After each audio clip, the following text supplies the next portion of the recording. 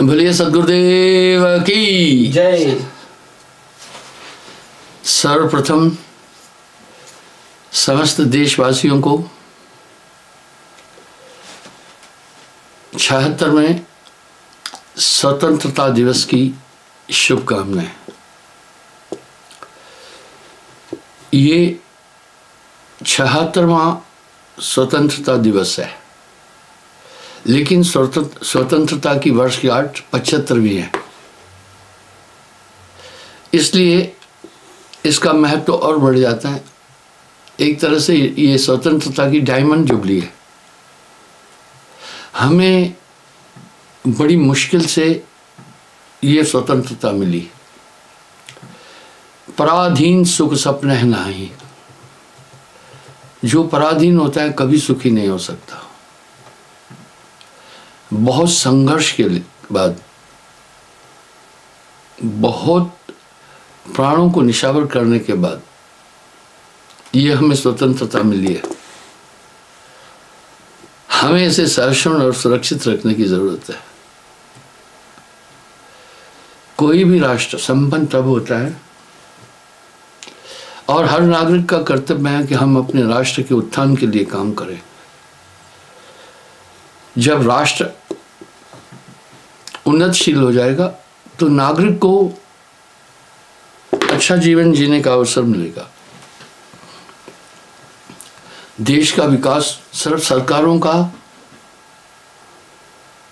वैज्ञानिकों का काम नहीं है। ये हर एक नागरिक का कर्तव्य बनता है कि अपने देश के विकास में हाथ आगे बढ़ाए। इस अवसर पर उन शहीदों को भी नमन करना होगा, जिन्होंने स्वतंत्रता के लिए अपने प्राणों की आहुति दी। अपनी सेना सेना को भी नमन करना होगा, जिन्होंने पचहत्तर साल तक देश की यह स्वतंत्रता को बड़ी मजबूती से संभाला। हमारी सीमाओं का, की सुरक्षा की। बड़ी खुशी की बात है कि विश्व की जितनी भी सेनाएँ हैं, उन, उनमें भारतीय सेना अलग है। कन्वेंशनल पावर भारतीय सेना का वर्ल्ड में सबसे ज़्यादा है। हम उस क्षेत्र में भी काफ़ी विकास किए हैं। उन कवियों को भी नमन करना है, जिन्होंने युवा वर्ग में आज़ादी की उमंग और जोश को अपनी कविताओं और रचनाओं के द्वारा उत्पन्न किया। उन माताओं वीरांगनाओं को भी याद करना होगा, जिन्होंने अपने बच्चों को इस महायज्ञ की आहुत में झोंक दिया। ये अवसर हम सबको बहुत कुछ करने के लिए प्रेरित करता है, बहुत कुछ याद दिलाता है। देश के विकास के लिए हम सबको सजग और सतर्क रहना होगा। जब देश पिछड़ा हो जाएगा तो कमज़ोर हो जाएगा। कोई भी देश उन्नतशील तब है, विकसित तब है। उसके सब नागरिक स्वस्थ हो, वहाँ स्वस्थ सेवाएँ उत्तम हो। दूसरा, शिक्षा का स्तर बहुत ऊँचा हो। क्योंकि विकास के लिए शिक्षा एक बहुत बड़ा माध्यम है। और स्वावलंबता हो, कोई भूखा ना रहे स्वालंबी हो, हर एक को रोज़गार मिले। कृषि प्रधान देश होने के कारण राष्ट्र कृषि प्रधान है। यहाँ सत्तर परसेंट लोगों की जीविका कृषि पर है। उसके विकास के लिए भी वैज्ञानिक भी काम कर रहे हैं। हर किसान भाई को भी इसकी आवश्यकता है कि अपनी ओर से पूरा पूरा सहयोग, योगदान दे। इसके साथ साथ सहिष्णुता की भी ज़रूरत है। अगर हम आपस में लड़ते रहेंगे, देश कभी विकास नहीं कर सकता है। विगत कुछ सालों से हमारे यहाँ धार्मिक विवाद बहुत ज़्यादा बढ़ गए ये अच्छा सिग्नल नहीं है।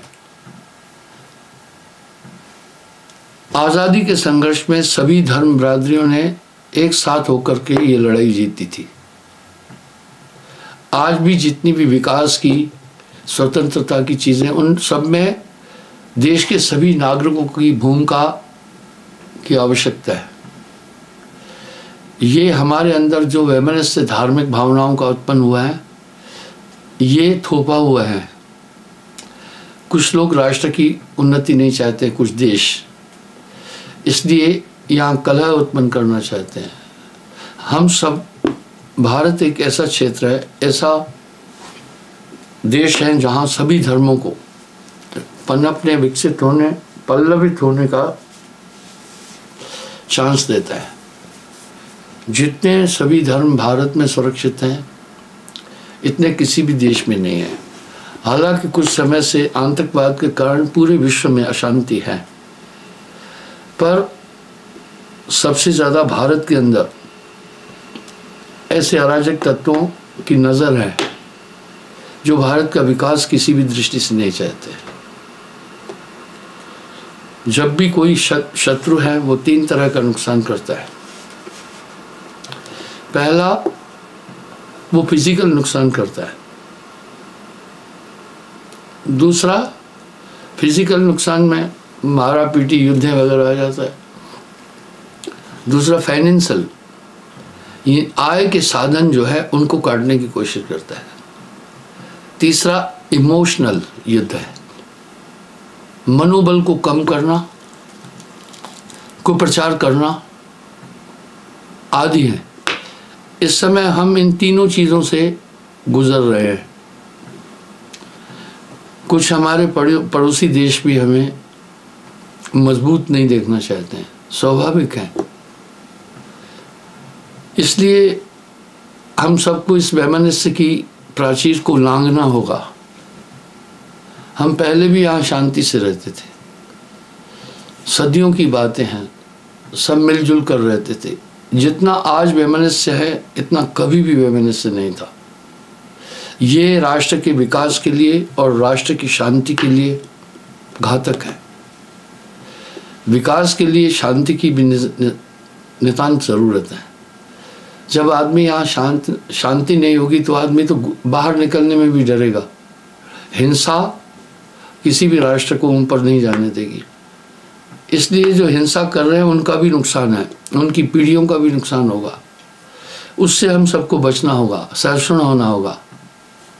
अन्यथा, आगे हमारा भविष्य, हमारा विकास रुक जाएगा। कुछ चाहते हैं, देश, कि हमारा समग्र विकास न हो, और विकास का जितना अवसर भारत में है, जितनी संभावनाएँ हमारे देश में कहीं नहीं है प्रकृति के रूप से हम बहुत संपन्न हैं। ये वो देश हैं जहाँ छः ऋतु होते हैं।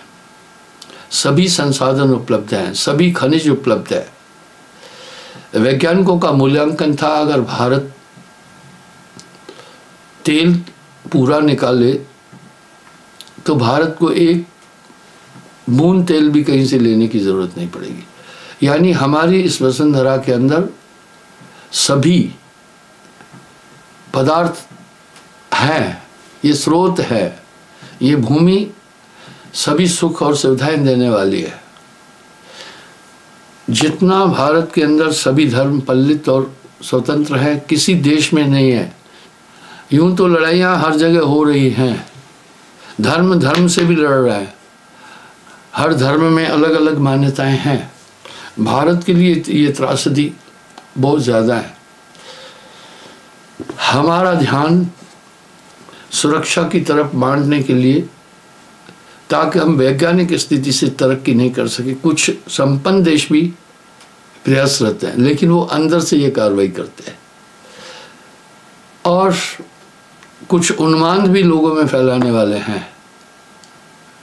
हमें इस सबसे बहुत बचना होगा। जहाँ सुमति, तहां संपत्ति नाना। जहाँ कुमत तह विपत निदाना देखकर बड़ा दुख होता है कि आजकल हम देशवासी स्वयं ही आपस में लड़ रहे हैं। ये लड़ाई दोनों के लिए ठीक नहीं है। मैं लोगों से कहता हूँ, जिसका नाम लड़ाई है, वो हानिकारक है। जीतने वाले के लिए भी हानिकारक है, हारने वाले के लिए भी हानि, हानिकारक है।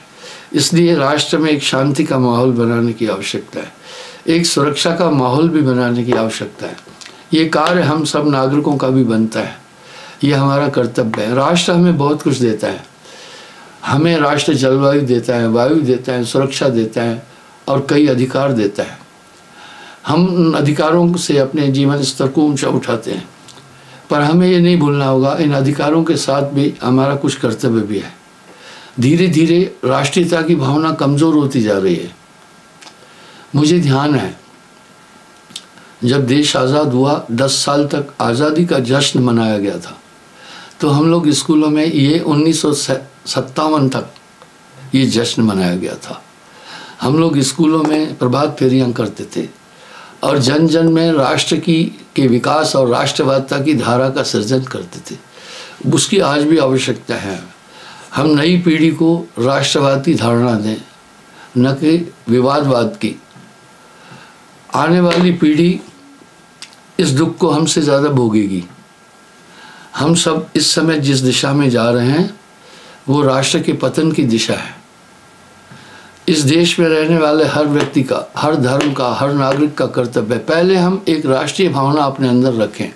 राष्ट्र हमारा घर है। बाकी चीज़ें तो बाद में होती रहती है।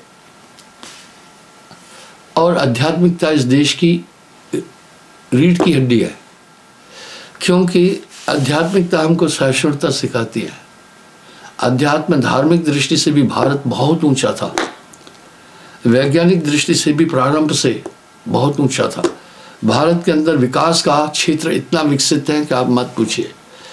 आज तो वैज्ञानिकों के पास में इंस्ट्रूमेंट्स और सब चीज़ें हाजिर हैं। विक्रमादित्य की, के राज्य में वराह भट्ट और आर्यभट्ट वैज्ञानिक थे, जिनके पास खुरदूरबीन और दूरबीनें नहीं थी। बाँस की नलिकाओं द्वारा नक्षत्रों का ज्ञान लेकर के कई चीज़ें दी उन्होंने। इसलिए हमारा देश हर तरह से संपन्न था, इसे सोने की चिड़िया कहते थे। कृषि के क्षेत्र में भी हम बहुत मज़बूत थे और शांति की दृष्टि से भी हम काफ़ी आगे थे। विकास बहुत विशाल था। अगर आप देखें आज भी, जो भारत की इंफ्रास्ट्रक्चर की स्थिति थी, वो वर्ल्ड में सब बेहतर थी। मोहन जो हड़प्पा आदि इसका एक प्रमाण है। और साथ में साथ में वैशाली और मगध आदि और प्राचीन जो हम बड़े बड़े तोरण किले देख रहे हैं, वो हमें एक इतला देते हैं कि हम काफ़ी विकसित थे। और ये होता है, सबकी नज़र चढ़ते सूर्य पर होती है। ये देश संपन्न था। यहाँ प्राकृतिक सभी संसाधन मौजूद हैं। इसलिए इस देश में जन्म लेने वाला भी बहुत भाग्यवान है वो इस वसुंधरा में जन्म लेने वाला बहुत भाग्यवान है। आप सोचें, जो क्रिटिकल जगहों पर जन्म देते जहाँ की भौगोलिक स्थिति ठीक नहीं है, उनको सभी संसाधन जीवन यापन के उपलब्ध नहीं हो पाते हैं। यहाँ प्रकृति ने हमें बहुत सुविधाएँ दे रखी है। इसलिए और इस वसुंधरा में इतनी ताकत है कि आप विचार करें एक सौ एक करोड़ चालीस, एक सौ चालीस करोड़ जनसंख्या भारत की हो रही है। इन सबको वो ये वसुंधरा भोजन दे देती है सब चीज़ें दे देती है वस्त्र दे देती है। इसके अंदर कितनी ताकत है। कई ऐसे देश हैं जहाँ कपास होती नहीं है उनको दूसरे देशों पर निर्भर होना पड़ता है। ये स्वावलंबी राष्ट्र हैं ये एक संपन्न राष्ट्र है। ये ऐसे ही सोने की चिड़िया नहीं कहलाता था। तो इसमें हमें जब भी एक घर में शांति होगी ना चाहे एक टाइम का भोजन है ना तब भी वो आनंदित रहेंगे। अशांति होने पर जितने भी संसाधन होंगे तब भी, भी आनंद नहीं मिलेगा। इसलिए हर नागरिक को ये सोचना होगा। हमारा यहाँ का लोकतंत्र भी आपको काफ़ी सुविधा देता है। मैं जानता हूँ, कुछ कुंठित राजनीतियों के कारण से भी थोड़ी सी दिक्कतें हो रही हैं। कुछ महत्वाकांक्षी लोगों के कारण भी दिक्कतें हो रही है। उसको हम दरकार रखें। अगर नागरिक चेतन है तो सब काम होता जाएगा। दरअसल लोकतंत्र में सरकार भी नागरिक ही तो चुन रहे हैं ना। उन्हीं की तो पसंद है ना। तो और ये लोकतंत्र भी विश्व को पहले भारत ने दिया है। हमें इन सब चीज़ों को बारीकी से समझना होगा और शिक्षा के स्तर को और ऊँचा उठाना होगा। मैं पूरे विश्व में भ्रमण करता हूँ। जितनी क्रेज़ भारत के लोगों की हैं, आप चाहे नासा में जाकर देखें, गूगल में जाकर देखें और अन्य अन्य जगहों पर जाकर देखें, भारतीयों का सहभागिता दूसरे विश्व के देशों के उत्थान में भी बहुत बड़ी है। बहुत ऊँची है। इसलिए ये देश अस्थिर न हो, और ये ज़िम्मेदारी हम सबकी भी बनती है। हर एक नागरिक अगर आपस में सौहार्द और भाईचारे का संदेश देगा तो विवाद खत्म हो जाएगा। झगड़ा और लड़ाई तो जीतने और हारने वाले के लिए, दोनों के लिए नुकसानकारक हैं। और एक मनुष्य है जिसके पास संवाद है, जो बातचीत कर सकता है। इसलिए लड़ाई तो किसी भी क्षेत्र से उचित नहीं है। और जहाँ लड़ाई है, वहाँ पर संतोष कैसे हो सकता है? इसलिए जो लोग धार्मिक और अन्य प्रकार का उन्मान पैदा कर रहे हैं, उनसे भी हमें सावधान रहना होगा। हमें निसंदेह ये देखना होगा और एक धारणा बनानी होगी। हमें मिलकर रहना है। इसके अलावा हल नहीं है। आज विश्व समुदाय सिमटा हुआ है। पहले क्या होता था, हर देश की बाज़ार अलग थी, हर दे, हर एक देश का मूल्य अलग था। लेकिन अगर आप देखें ना तो हर हर एक देश का भी रेट एक चल रहा है, मूल्य एक चल रहा है। मैं उदाहरण देता हूँ। मैंने ब्रिटेन में एक से दूध का भाव पूछा। जब मैं कंपेयर किया तो भारत का भी वही भाव था। फिर एक पनीर पूछा कंपेयर किया, वही भाव था। इस तरह से अगर वहाँ अस्सी रुपये किलो आलू हैं तो करेंसी का अंतर है। इस तरह से आज विश्व मार्केट सीमित सुकड़ गया है। बहुत सुकड़ गया है। तो यहाँ पर यानी एक चीज़ जो घटना होती है, बहुत जल्दी वायरल हो जाती है। नेटवर्क कैसा है? यहाँ शांति बनाने की बेहद ज़रूरत है और इसमें अध्यात्म की भूमिका होनी चाहिए। जब भी धर्म स्थानों पर हिंसा न सिखाई जाए धर्म स्थानों पर शांति का संदेश दिया जाना चाहिए। क्योंकि धर्म तो हिंसा सिखाता ही नहीं है। धर्म में हिंसा और अपराध का कोई स्थान नहीं है। अगर हम धर्मिष्ठ हैं तो इन सब चीज़ों पर हमें चलना होगा। प्राचीन काल में क्या था? सबसे पहले गुरुकुलों में जाते थे। वासुदेव कृष्ण जी भी गुरुकुल में गए थे वहाँ पढ़ने के लिए। इस तरह से आज हमारी शिक्षा पद्धति को भी संरक्षण बनाने की बहुत ज़रूरत पड़ेगी। जिससे हर नागरिक अपना कर्तव्य ठीक से समझ समझ सके। दूसरा, मैं पुनः सेना के लिए एक बात कहूँगा कि भारतीय सेना सच में विश्व में लाजवाब है। आप देखें, जहाँ भी संयुक्त राष्ट्र संघ की ओर से सेनाएँ जाती है शांति के लिए, उसमें पहला नंबर भारत का होता है। हमारी रेजिमेंट कांगो गई, वियतनाम गई, शांति के लिए। क्योंकि उनको है कि भारतीय सैनिक वीर होने के साथ साथ शांति प्रिय भी हैं और अच्छे हिंसा नहीं करते हैं, बलात्कार नहीं करते हैं। इस तरह से राष्ट्र का सम्मान हमारी सेना ने भी, विदेशों में भी बहुत बढ़ाया है।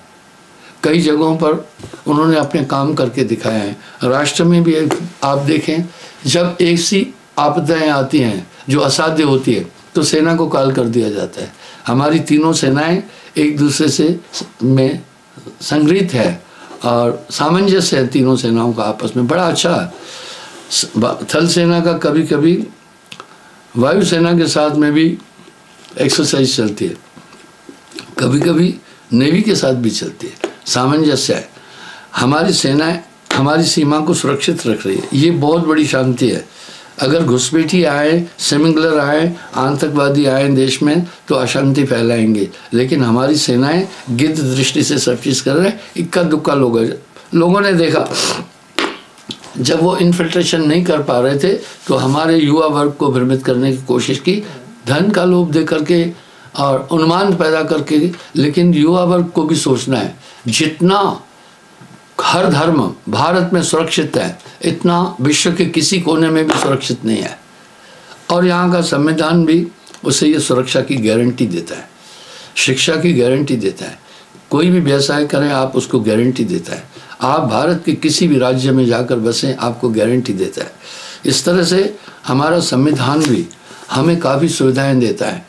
रहा सवाल, राजनीति है चलता रहता है, इसमें अच्छे लोग भी कभी आ जाते हैं कुछ कुछ अटपटे भी आ जाते हैं। ये तो होता रहा है, होता रहेगा। हमें इन नेगेटिव चीज़ों से बचना होगा। इनसे बचकर हमें यथार्थ की तरफ़ बढ़ना होगा। राष्ट्र को ऊंचाई की तरफ़ ले जाना होगा। हमारे आने वाली पीढ़ी के लिए हमें कुछ अच्छा छोड़ के जाना होगा। ये नहीं कि आने वाली पीढ़ी सिर्फ़ संग्राम देखती रहे और विवाद देखती रहे, युद्धें देखती रहे, मार काट देखती रहे तो वहाँ पर शांति नहीं हो सकेगी।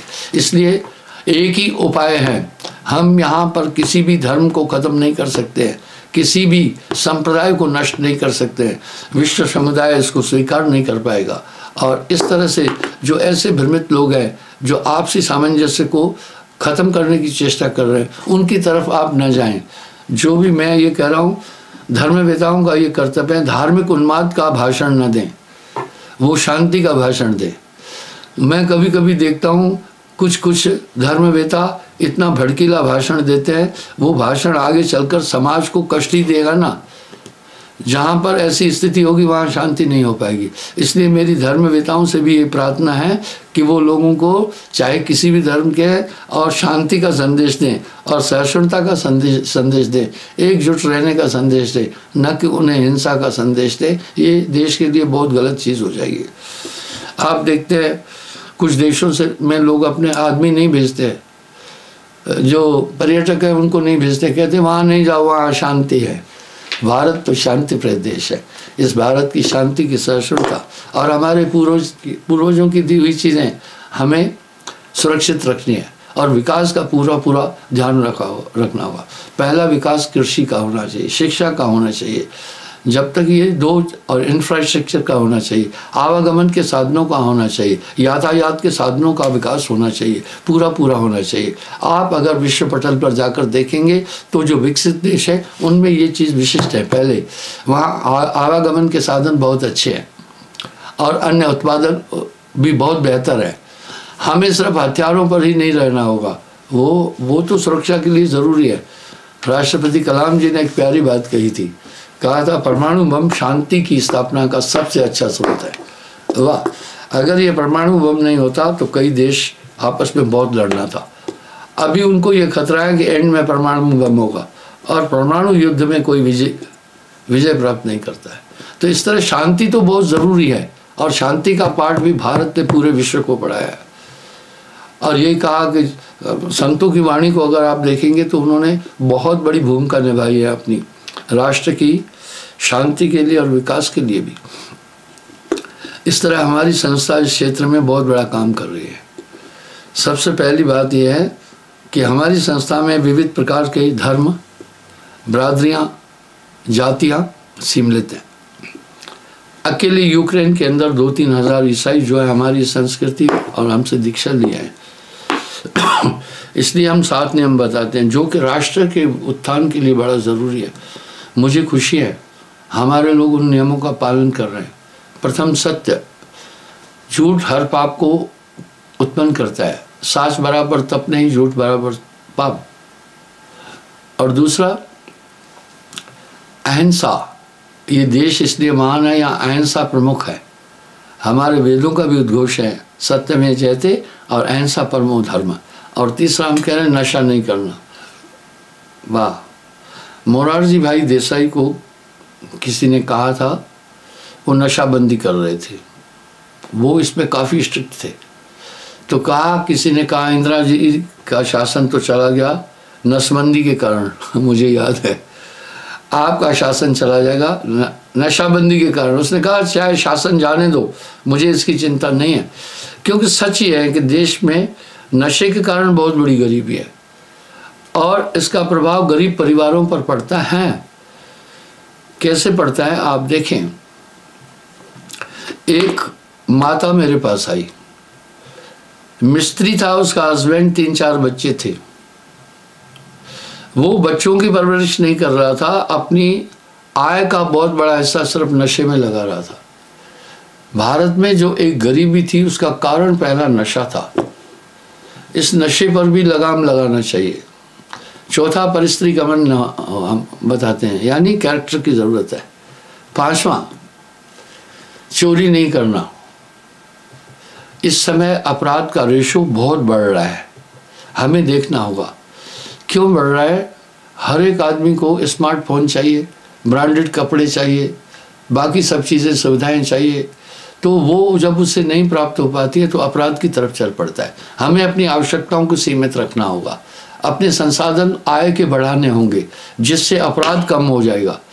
पहले अपराध तो अपठित और बाहुबली लोग करते थे। अभी अपराध शिक्षित लोग ज़्यादा कर रहे हैं। आप इस बात पर चिंतन कीजिएगा। इसलिए हमें विकास और कार्य और नौकरी के क्षेत्र को काफ़ी ध्यान से देखना होगा। अन्यथा वो युवा वर्ग भटकता है और चाहे वो प्राइवेट सेक्टर में हो, चाहे कहीं भी, ऐसे संसाधन गवर्नमेंट चलाए। लेकिन गवर्नमेंट सबको काम नहीं दे सकती है, ये मुश्किल है। और सबको रोज़गार गवर्नमेंट देना बहुत मुश्किल है। कुछ हमें अपने, उससे भी देखना है। इस कारण से जब हमारे यहाँ फैक्ट्री आदि का निर्माण बढ़ता जाएगा तो लोग एम्प्लॉयड भी होते जाएँगे। हमें केवल सरकार पर दोष नहीं देना, सरकारें आती जाती रहती हैं, ये चीज़ मैटर नहीं करती है। अपनी अपनी नीतियाँ होती हैं, लेकिन मैं ये कहना चाहूँगा, राष्ट्र के विकास में अभी तक जितनी भी राजनीति पार्टियाँ रही और जितने भी लोग रहे, उन सबका भी अपना सहयोग है। किसी का कम है, किसी का ज़्यादा है, किसी को ऐसी स्थिति नहीं मिली, हम किसी की निंदा नहीं कर रहे। इस तरह से थोड़ा विकास की तरफ़ ध्यान देना बहुत ज़रूरी है। जब पूर्ण विकास नहीं हो पाएगा तो अपराध का रेट बढ़ जाएगा बहुत बड़ा। हर आदमी चाहता है भोजन, एक आवश्यकता है। इसलिए चोर भी तो भोजन के लिए ही तो चोरी कर रहे हैं, वो एक रिस्क ले रहे हैं। तो हम जब उसको ऐसे पटल पे ला देंगे कि उसकी आवश्यकताओं की पूर्ति ठीक तरीके से हो जाए तो अपराध स्वयं कम हो जाएगा। और एक शांति राष्ट्र में होगी। जहाँ शांति होगी, वहाँ स्वच्छ मस्तिष्क हो सकता है। जहाँ पर विवाद होंगे, वहाँ एक उत्पीड़न होगा। जहाँ, वहाँ आदमी वैसे ही भयभीत रहेगा। इसलिए जहाँ सुमतता, संपत्ति नाना जहाँ कुमतता विपत नेताना तो राष्ट्र के उत्थान के लिए हर एक नागरिक की भूमिका है। हर एक नागरिक को ये भी सोचना होगा कि जिस राष्ट्र में हम रह रहे हैं, उसके प्रति हमारा कुछ कर्तव्य है। हम वो कुछ कर रहे हैं कि नहीं कर रहे हैं। इस वसुंधरा जो हमें सभी सुख उपलब्ध करा रही है, इसके प्रति भी हमारा कर्तव्य होगा। इस तरह प्रदूषण पर भी हम सबको ध्यान देना होगा। हर नागरिक को ध्यान देना होगा। सिर्फ़ सरकार के काम नहीं है। सरकार अपने काम कर रही है, पर हर नागरिक को चेतन होगा। चेतन सचेतन होना होगा। जैसे प्रदूषण बढ़ेगा, इस तरह से बहुत ज़्यादा बीमारियाँ फैलती जाएगी। मुझे ध्यान है मेरा गाँव बड़ा आदर्श गाँव था, चार हज़ार लोग थे। एक को भी वहाँ शुगर, सिर्फ़ एक आदमी को शुगर थी। एक आदमी को सिर्फ़ टीबी थी। अब देखिए, हमारा देश शुगर कंट्री हो गया। क्योंकि ये प्रदूषण के कारण कई कई चीज़ें फैल रही है। अपने आसपास स्वच्छता रखें। सच्चाई और सफ़ाई। एक दूसरे, एक सिक्के के दो पहलू है। इसलिए इस कबीर साहब ने वाणी में कहा, अंदर सफ़ा, बाहर सफ़ा, तब साहेब काहे खबा? मैं पुनः समस्त संगत और देशवासियों को स्वतंत्रता दिवस की शुभकामनाएँ देता हूँ। मैं आपको एक सूचना देना चाहता हूँ। कल 15 अगस्त को हम आश्रम में भी ध्वज आरोहण करेंगे और बहुत बड़ा प्रोग्राम रखा है। आप सबको हम वेलकम करते हैं। यहाँ हमने भोजन की व्यवस्था, मिठाई की व्यवस्था भी की है। और मुझे खुशी है यहाँ बच्चे तिरंगा यूनिफॉर्म मात लड़कियाँ और बच्चे पहन के आते हैं। बड़ा रमणीक रमणीक दृश्य होता है। हमने देसी घी का भोजन और अच्छी सुविधाएँ भी कल के लिए रखी है। सबको हम आहूत कर, करते हैं। वेलकम मैं पुनः समस्त संगत और देशवासियों को स्वतंत्रता दिवस की शुभकामनाएँ देता हूँ। धन्यवाद। भारत माता की जय।